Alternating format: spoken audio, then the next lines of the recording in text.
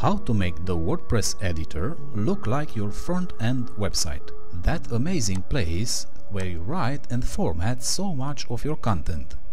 It's supposed to be what you see is what you get. But while it does showcase basic styling in real time, it's not truly this way because the formatting in the Visual tab of WordPress editor doesn't actually match how your content looks on front-end website. As a result, you are forced to hit the preview button over and over to see how your post will look once published. But what if there were a better way? a way that let you skip the incessant alt-tabbing and previewing and see your final product right in the WordPress editor. Unfortunately, unlike customizing the WordPress admin, there aren't any plugins that will make your WordPress editor automatically emulate your front-end website. That means you'll need to dig in and get your hands a little dirty. But I promise you, I'll make this as painless as possible and when you are done, you'll have the satisfactory feeling of making your WordPress editor look like this. To make these changes, you'll need to use something called Style Sheet. These are the files in your WordPress theme that end with .css. They essentially control how your site looks.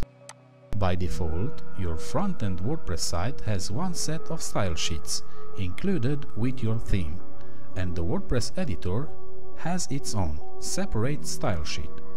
That's why the WordPress editor looks different from your front-end site.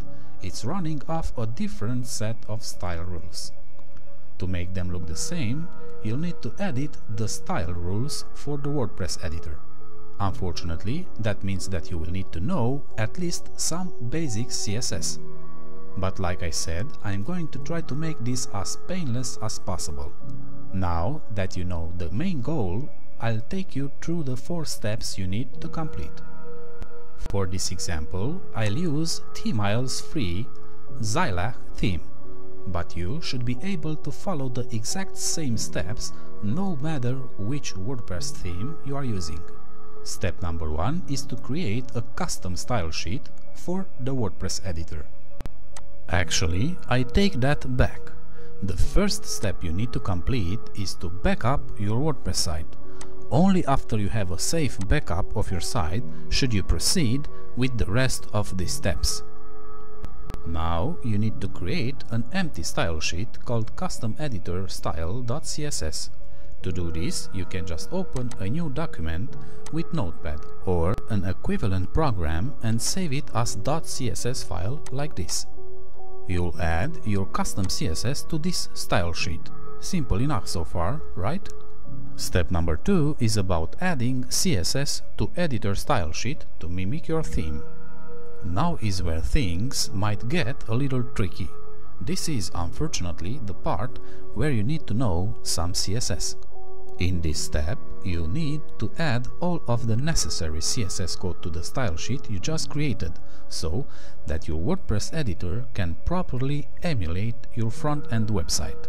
One way to do this is to actually browse through the stylesheet.css located in your themes folder.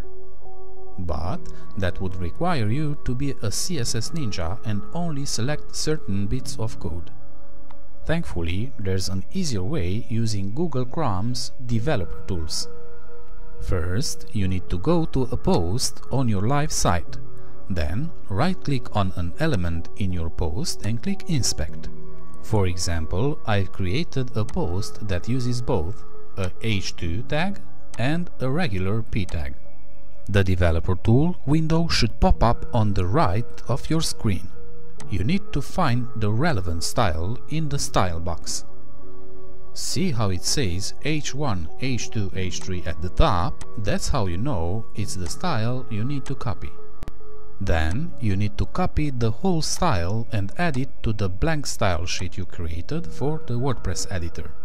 Repeat this process for every element in your post. That means you'll need to right click and inspect regular texts, links, images, bullet lists, etc. Essentially, you need to follow this process for anything that you want to replicate the style of. I know this is a little tedious, but it's the best way unless you know enough CSS to dig through your theme's style sheet or create CSS code from scratch. Step number 3 is about uploading the new style sheet to your themes folder via FTP. Once you've finished adding all of the necessary styles, you need to use an FTP program to upload your new style sheet, the one called custom editor style.css, to your themes folder. You can find your themes folder by going to WP content, themes and theme name. Upload your style sheet in the same theme folder as other files like function.php and stylesheet.css. The final step is about telling the WordPress editor to use this custom style sheet. Now you just need to add some code to the functions.php file of your theme, ideally child theme, to tell the WordPress editor to use the custom style sheet that you created. To do that, go to Appearance, Editor, Functions.php. Then add this code snippet to the bottom of your functions.php file. And here's what the file looks like. Don't worry, this code comes from the official WordPress.org repository and does nothing more than connect the WordPress editor with your new style sheet. Once you've added the code snippet, just save your changes and you should see your front-end styles when using the WordPress editor. That's it.